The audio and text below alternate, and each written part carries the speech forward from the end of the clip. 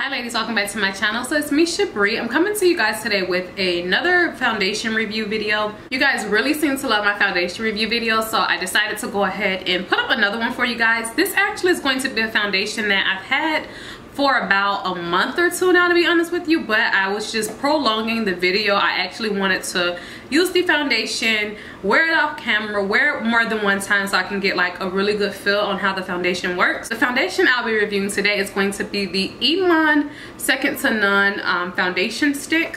I picked mine up in the shade earth 7 you guys are not familiar with Iman, um, I will definitely link below in my description box their direct link to their website where you can go to purchase their foundation and all of their other products. I actually use their luxury face powders and I'm absolutely in love with their face powder so I decided to pick up the foundation and I like it. I actually do like the foundation. I've got a lot of compliments when wearing that foundation by both male and female so that says a lot. When a male compliments you on your makeup that means it must look really good, right? So yes, I'm super excited about that foundation to show to you guys today. So again, I picked mine up from Walgreens. I didn't buy it directly from um, Iman Cosmetics. When I went to Walgreens, I was actually looking for this foundation and I noticed they had a sale. They had this actually marked down really low. I believe I paid only about $2 for this foundation that kind of scared me when I was talking to the girl at the register. I believe she was saying they were getting rid of the Iman collection at that Walgreens. So all of the Iman cosmetics were marked down. So I picked up two foundations. I picked one up in the shade Earth 7, which is the shade that's closest to me. And then the other shade was Earth 6. So let me show you guys the difference. If you guys can see on camera, this is Earth 6 and this is Earth 7. Earth 7 is just a little bit deeper in tone than what Earth 6 is. Earth 6 on me actually looks really ashy. I'll just swipe it so you guys can see. So you see Earth 6 is really too light for my skin tone. But this is Earth 7, swipe right next to it. And you can see it's definitely more closer to my skin tone. It is still a little light than what I normally prefer, but I'm going to make it work. I'm going to do this review video pretty similar to all of my other foundation review videos. So just to get right into the claims of this foundation, so it says full coverage, long wearing matte color for a natural looking complexion and it's also supposed to create a flawless finish. I will say that it does give a soft matte finish that looks really natural. As far as it being full coverage, it's definitely something you have to build up. So I don't really know if I give it that full coverage claim. But normally what I do is just to go in and moisturize and prime my face as I normally do. My face is already moisturized, so I am just gonna go in and prime my skin. The primer that I'm using is the Becca Evermatte Poreless Primer. So I'm just gonna take that and sort of apply it all over my face. One thing I do notice with this foundation is that you don't get as oily. I'll definitely agree that it is a matte foundation and it is oil free.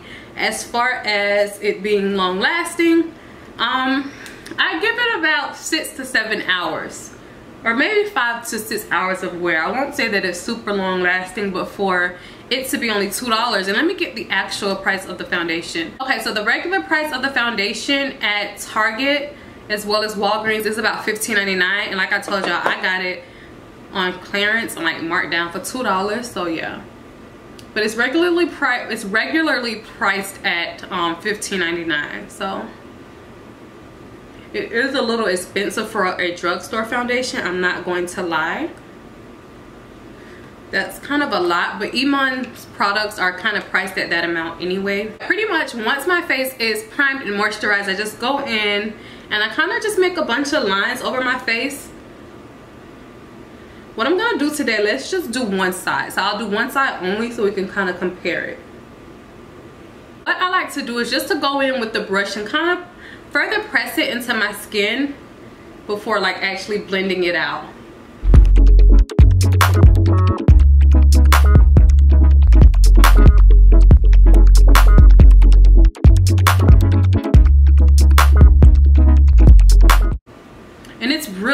to blend out. Even though it is a stick foundation it isn't really drying. As you guys see I'm really just lightly feathering it or stippling it into my skin.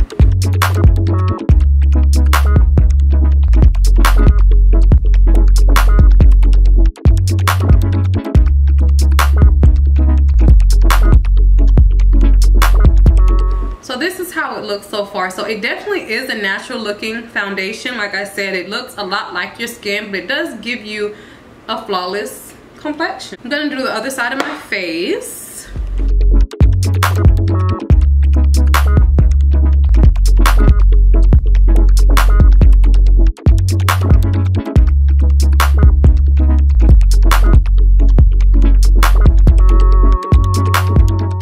This is how the foundation looks just on its own so as you can see it definitely does give like a really skin-like finish. Like my skin just looks really flawless right now. Like it covered up all of my imperfections. I have like this nice soft matte finish. It isn't too matte. It isn't too luminous. It does definitely give you just like a matte finish. So I love the finish of the foundation. I love how it covers my imperfections. And again I just love how it still looks natural but it still looks flawless so as I always do, I'm gonna go ahead and finish up the rest of my face on camera just so you guys can see how other products work with the foundation. And I'll come back and give you guys my final thoughts on this foundation.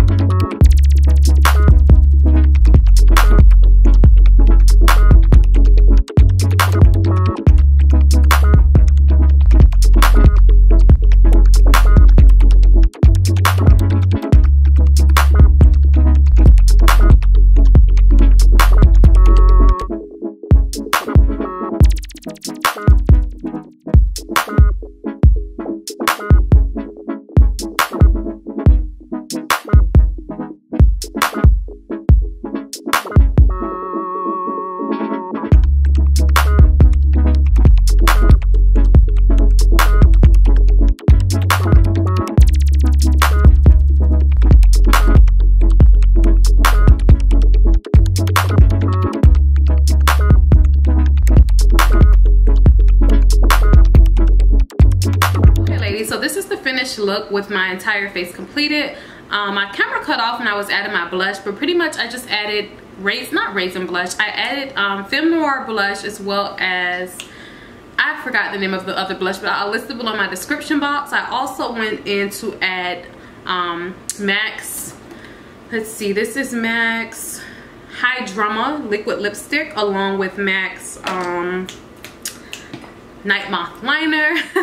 and I added some bottom liner um, to my waterline. I just used MAC Feline Kohl Liner. Is that what it's called? Or MAC Kohl's Liner? I don't know. I'm going to list all the products below in my description box so you guys will see what products I use to actually finish up my face. But this is the completed look. Like my skin, my face is really, really pretty. I really like foundation still feels really good on my skin um it isn't breaking up anywhere just yet it's still giving me that matte finish i just I love this look. I love this lip kind of paired with the matte natural face. The lip kind of adds drama to it. but I absolutely love this foundation. Like I said, I've tried this foundation a lot before actually doing this video, so I know how it wears. You don't really get oily with this foundation until around like the fourth or fifth hour, as I stated. It will last you a good six hours um, with like a really nice foundation look. Of course, it'll last longer than six hours, but I'm talking how long does your foundation last on your face and it looks good. I'll give this foundation six hours. Definitely, definitely recommend this foundation, especially for the price, especially for the finish of the foundation. As far as all of the claims of the foundation, I'll definitely agree to it being natural looking, matte foundation, um, long lasting, and kind of sort of not too much, but you guys, just get into this foundation look. Like, it's so pretty. I love this foundation. As always, I'll leave a link in my description box directly where you can purchase this foundation. If you've tried the foundation, let me know below in my comment section how you're liking it. If you guys like these foundation review videos, please continue to thumbs up the video so I'll continue to get them out to you all. And until my next video, I will see you all later.